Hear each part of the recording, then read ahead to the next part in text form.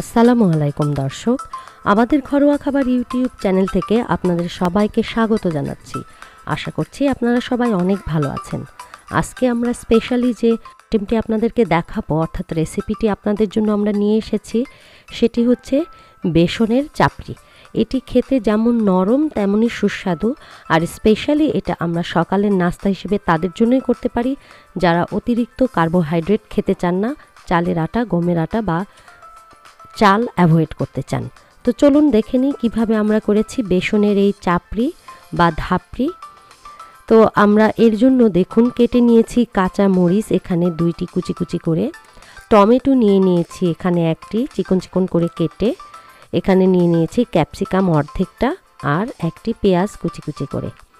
এখন দেখুন তেঁতুল এখানে আমরা ভিজিয়ে রেখেছি চারটি দানা। এখন এই তেঁতুল থেকে আমরা টক বের করে নেব। যেহেতু আমরা বলেছি যে যাদের যারা সুগার ইনটেক করতে চান না অথবা কার্বোহাইড্রেট বেশি নিতে চান না, এটি তাদের জন্য আমরা করছি। তো আমি সেজন্য তেঁতুল দিচ্ছি। তো যদি আপনারা এটি, আপনাদের কোনো প্রবলেমই না থাকে কার্বোহাইড্রেট বা সুগারে দেন আপনারা সস ব্যবহার করতে পারেন। সস ব্যবহার করলে এটি খেতে আরও বেশি ভালো লাগে। তো দেখুন, আমাদের গলানো হয়ে গেছে তেঁতুল। এখানে বেসন বাটি এখানে নিয়ে নিয়েছি আর সেই বাটিতে আস্তে আস্তে করে কুটে রাখা পেঁয়াজ, মরিচ, ক্যাপসিকাম, টমেটো সব উপকরণগুলোই নিয়ে নিচ্ছি। তো আমরা কিন্তু এটি একটু মোটা করে তৈরি করব ধাপড়িটি যার কারণে আমরা একটু ঘন করে বেসনটি গুলিয়ে নেব। এখানে আমরা দিয়ে নিলাম দুই চা, দেড় চা চামচের মতো বেসন আর দিয়ে নিচ্ছি একটি ডিম।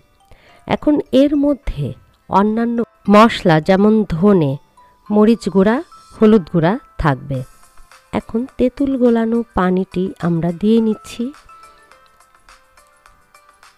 এখন এটিকে গুলিয়ে নেব। দিয়ে নিচ্ছি ধনে গুঁড়া আধা চা চামচের মতো। আর শুকনো মরিচ। হলুদ, আধা চা চামচ শুকনো মরিচ, আধা চা চামচ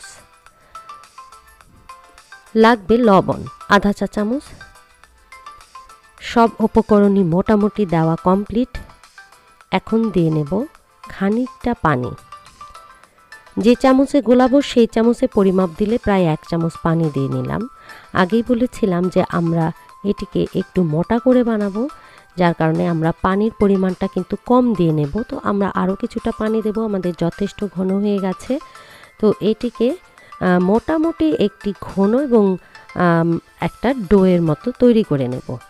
এখানে কিন্তু অন্যান্য যেমন আপনারা অনেকেই মনে করেন যে শুকনো গোলমরিচের গোলমরিচের গুঁড়া বা শুকনা মরিচ, সেটিকে আমরা ভেজে বেটে দেব কিনা দরকার নেই।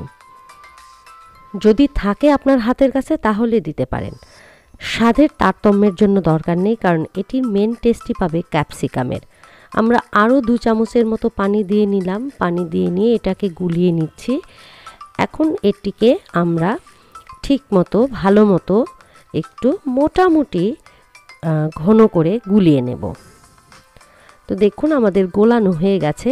যেহেতু এখানে অন্যান্য অনেক উপকরণই রয়েছে, অর্থাৎ পেঁয়াজ, ক্যাপসিকাম, টমেটো সব কিছুকেই আমি ভালো করে চামচ দিয়ে একটু প্রেস করে গুলিয়ে নিচ্ছি মশলাগুলোর সাথে যাতে ক্যাপসিকাম এবং এগুলো, তবে হ্যাঁ আপনারা ক্যাপসিকাম, পেঁয়াজ এটাকে কিন্তু একটু হাত দিয়েও প্রেস করে নিতে পারেন। প্রেস করে নিলে জিনিসটা নরম হয়ে যাবে এবং আমি এই যে এতক্ষণ ধরে চামচ দিয়ে গুলিয়ে নিচ্ছি, সেটা করবার দরকার নেই। তো এখানে মোটামুটি কিন্তু আমার আধা কাপের মতো পানি লেগেই গেল। এখন এটি দেখুন আমি ভাজছি, ভাজার ক্ষেত্রে খুব কম পরিমাণে আমি অলিভ অয়েল দিয়ে নেব এবং অলিভ অয়েলটি আমি ফ্রাই প্যানটি ঘুরিয়ে পুরো ফ্রাই প্যানে দিয়ে নেব। অলিভ অয়েলটি দেবার কারণে আমি খুবই মৃদু তাপে এই চাপড়িটি তৈরি করব বেসনের এবং তাতে করে যেটি হবে অলিভ অয়েলের গুণাগুণটিও অক্ষুণ্ণ থাকবে। এখন এর মধ্যে আমি যেহেতু বলেছি একটু মোটা করব, আমি মোটামুটি দুই তিন চামচ দিয়ে নেব। তো দেখুন, কড়াই আমার ফ্রাই প্যানটি পুরোপুরি হতে প্রায় পাঁচ চামচের মতো দেওয়া লাগল। এরপরে আমি ফ্রাই প্যানটিকে ঘুরিয়ে পুরা ফ্রাই প্যানে এটিকে বিছিয়ে নেব। যদি আপনাদের কার্বোহাইড্রেটের প্রবলেম না থাকে, এটিকে আপনারা মাল্টিগ্রেন হিসেবেও করতে পারেন। অর্থাৎ বেসন, চালের আটা, ময়দা তিনটি জিনিসই এর মধ্যে দিয়ে নিতে পারেন। ঢাকনা দিয়ে ঢেকে রেখেছিলাম, মৃদু আছে, পাঁচ মিনিট হয়ে গেছে আমাদের এক প্রান্ত, এখন এটাকে আমরা আস্তে করে খুন্তি দিয়ে উল্টিয়ে দেব।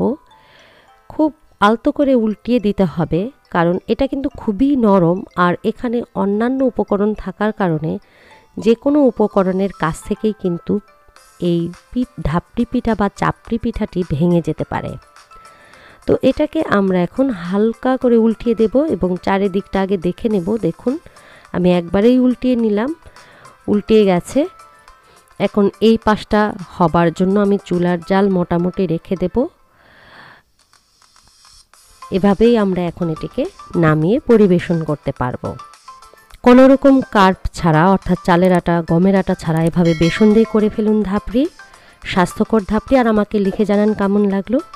তো আগামীতে দেখা হবে আবার নতুন কোনো রেসিপি নিয়ে ইনশাল্লাহ ততদিনের জন্য ভালো থাকবেন, সুস্থ থাকবেন। আল্লাহ হাফেজ।